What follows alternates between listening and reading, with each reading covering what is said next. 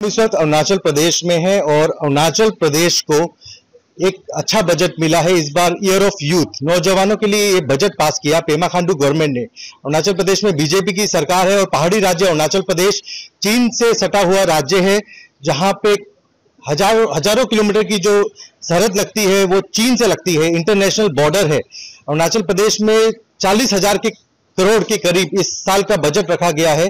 जिस बजट को पास किया गया 2000 करोड़ से भी ज़्यादा एजुकेशन को रखा गया और काफ़ी इंफ्रास्ट्रक्चर को लेके इस पे ज़ोर दिया जाएगा। पेमा खांडू जो आठ साल से यहाँ चीफ मिनिस्टर है, अरुणाचल प्रदेश में चीन से सटा कुरुकुमे है और कोलोरियांग के ट्वेंटी फ़र्स्ट कोलोरियांग एमएलए है, बीजेपी के नेता है, जो विधायक है, वो हमारे साथ है पाने तारम जी। जो पाने तारम जी से हम जानेंगे, इस बजट को लेकर अरुणाचल प्रदेश में चीन स्पेशली उनकी जो क्षेत्र है जो चीन से बिल्कुल सटा हुआ है उसके बारे में हम जानेंगे। सर सबसे पहले इस बजट में क्या खास लगा आपको? Thank you India today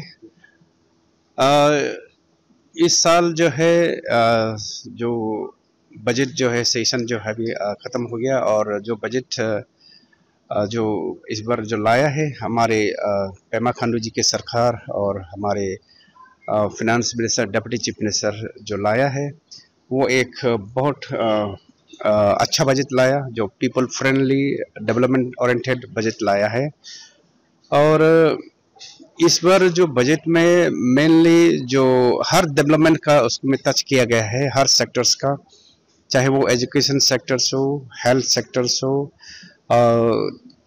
communications हो या टूरिज़्म हो एग्री अलाइड सेक्टर्स का हो स्पोर्ट्स एंड यूथ अफेयर्स का हो सब सेक्टर्स को बहुत अच्छे से इसमें टच किया गया इसमें बहुत अच्छे से शामिल किया गया है।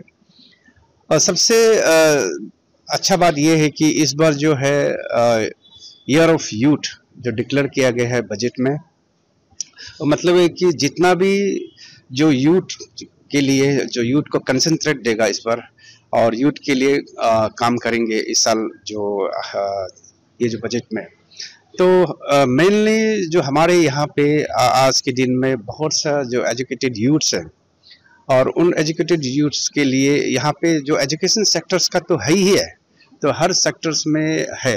उसके बाद यहाँ पे जो हमारा, जो पढ़ा जो पढ़ा लिखा लोग को तो उसको मौका दिया गया है। अगर वो कहीं प्रीमियर इंस्टीट्यूट में, जैसे कि आईआईटी में या फिर कहीं अगर उनको एडमिशन लेना है अगर एडमिशन मिल भी गया तो 100 परसेंट गवर्नमेंट से उसको फाइनेंस कर देगा फाइनेंशियली असिस्ट देगा। तो वैसे ही जैसे कि कोई पायलट बनना चाहता है तो उसके लिए भी हमारा इस बजट में आ, कम से कम 10 लोगों को उसको जो कमर्शियल पायलट लाइसेंस ऑप्टेन करने के लिए मदद करेंगे।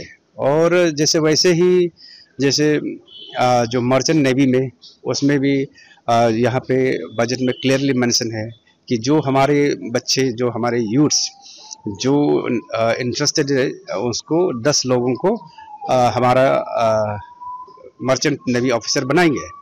तो इसका मतलब ये हुआ कि यूथ जो है, हमारा नेशन का भविष्य हमारा देश का भविष्य है। तो यूथ का कंट्रीब्यूशन से देश का जो डेवलपमेंट शेप जो है वो बहुत न्यू हाइट तक पहुँचा सकते हैं और उसका चेंज ला सकता है। तो इसलिए जो यूथ का जो important role in shaping the nation तो उसको बहुत इम्पोर्टेंट दिया गया है इस बार। और अगर हम स्पोर्ट्स क्षेत्र में देखेंगे तो स्पोर्ट्स में तो आप देखिए हमारा अरुणाचल प्रदेश में बहुत सा जो स्पोर्ट्स टैलेंटेड है और जो टैलेंटेड यहाँ पे अभी जो है इस बार जो है आ, हमारे यहाँ ओलंपिक जो एक मिशन रखा गया है हमारे यहाँ पे कि स्टेट में हर साल ये जो है एक ओलंपिक ऑर्गेनाइज करा गया स्टेट का स्टेट लेवल का, ताकि जो हमारा स्टेट जो में जो यूथ्स है, जो स्पोर्ट्स में गेम्स में बहुत टैलेंट है, उसको प्रिपेयर कर सके कि 2028 या फिर 34 ट्वेंटी या उसके बाद जब ओलंपिक होगा, तब उसको पार्टिसिपेट कर सकता है। तो जैसे उसके लिए जो है फिर कोचिंग जो है वो स्पोर्ट्स कोचिंग जो best of the best coaching दिया जा रहा है, इस बार देने के लिए कहा गया है। एंड देन हर स्पोर्ट्स पर्सन को जो एक मेंटर फैसिलिटीज़ जो कोचिंग भी दिया जाएगा। तो इस तरह हम स्पोर्ट्स को बहुत आगे बढ़ा ले जा सकता है। तो अभी हमारा यहाँ पे आप देखेंगे कि हमारा अरुणाचल में बहुत से ऐसे जो स्पोर्ट्स यूथ है यूथ जो टैलेंटेड है कि इंटरनेशनल गोल्ड मेडलिस्ट है international silver medallist bronze medallist है। तो फिर हमारा जो नेशनल लेवल का तो बहुत से हाई है सर्टिफिकेट्स लेने वाला। तो अगर उसको हम और अच्छा से इनक्रेज करता है और फैसिलिटी उसको देता है कोचिंग करता है तो ज़रूर ओलंपिक में वो भाग ले सकता है पार्टिसिपेट नेशन को वो रिप्रेजेंट कर सकता है। तो इसलिए ये स्पोर्ट्स चीज़ को बहुत इम्पोर्टेंट दिया गया है। एंड देन हमने यूथ्स जो है इसमें आ, हमारा जो राज्य में जो इस बार बजट में सी ट्रिनिटी को इसमें एक इम्पोर्टेंस दिया गया है जिसमें स्किल डेवलपमेंट है दैन एंटरप्रेन्योरशिप है एम्प्लॉयमेंट जनरेशन का है।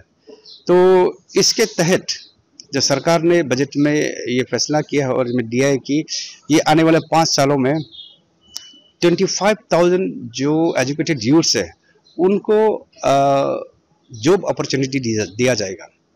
तो उसमें एक किसी हमारा जो यूथ है उसको ट्रेनिंग दिया जाएगा। जो उनका जो स्किलिंग है उसको डेवलप करने के लिए उसको ट्रेनिंग दिया जाएगा। ट्रेनिंग देने के बाद अगर वो अपना सरकार में अगर वो अपॉर्चुनिटी लेता है जॉब एब्जॉर्व हो जाता है तो अच्छा है। अगर नहीं भी होता है तो कहीं कंपनी में वो एब्जॉर्व कर सकता है।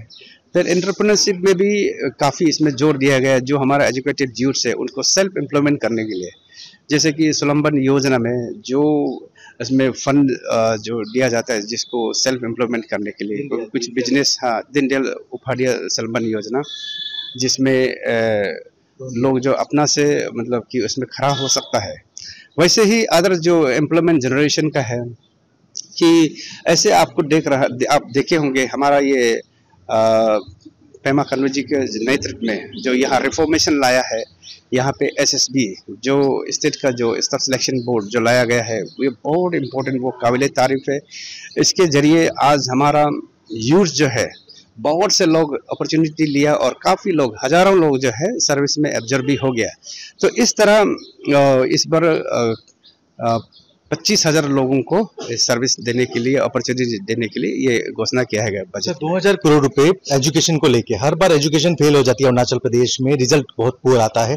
इस बार ये लगता है आपको 2000 करोड़ से कुछ डेवलपमेंट एजुकेशन सेक्टर को इंफ्रास्ट्रक्चर को ब्लूम किया जाएगा? देखिए एजुकेशन जो है बहुत इम्पोर्टेंट है ह्यूमन जो डेवलपमेंट का हो या एरिया डेवलपमेंट के लिए भी हो तो एजुकेशन जो है बहुत इम्पोर्टेंट है। और इस बार जो बजट में एजुकेशन पार्ट को बहुत अच्छा दिया गया है। और जो जो हमारे दूर दरस में जो, जिसमें जहाँ फैसिलिटी नहीं है तो उसको इस बार फैसिलिटी दिया जाएगा। और ख़ास करके अभी जो है हमारा जो माननीय मुख्यमंत्री पेमा खंडू जी और हमारा जो एजुकेशन मिनिस्टर पी डी सोना जी वो एजुकेशन को बहुत आगे ला जाएगा, मुझे पूरा विश्वास है।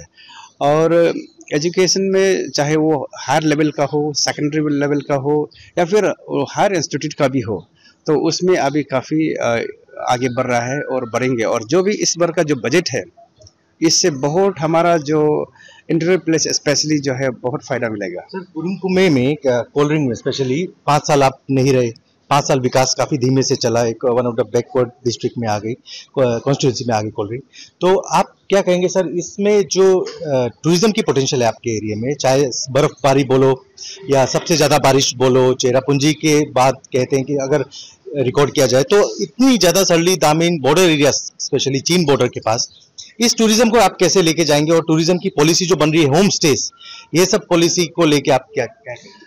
देखिए ये इसको बजट में भी रिफ्लेक्ट किया गया है कि इस बार जो है आ, जो एक कि हमारा जो लोकल जो कम्युनिटी जो हमारा जो एजुकेटेड यूथ्स है और उनको भी एक जॉब अपॉर्चुनिटी दिया जाएगा टूरिज़्म के तहत।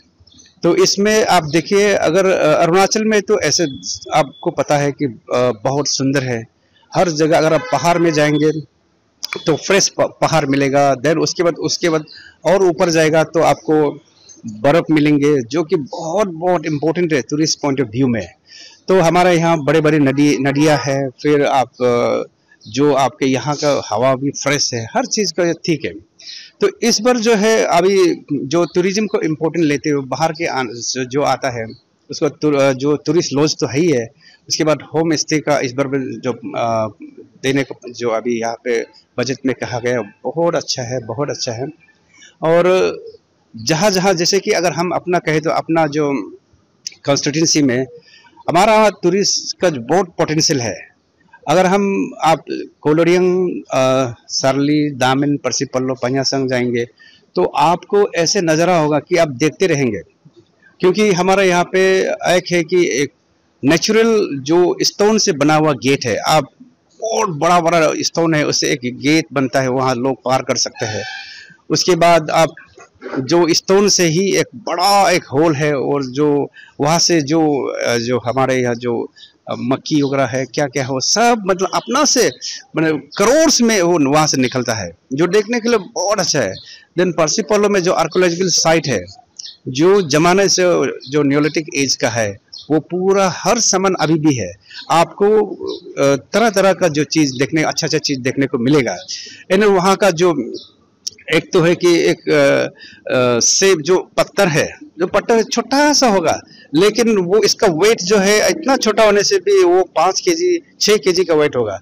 तो उसका जो देखने, हर चीज़ देखने के लिए है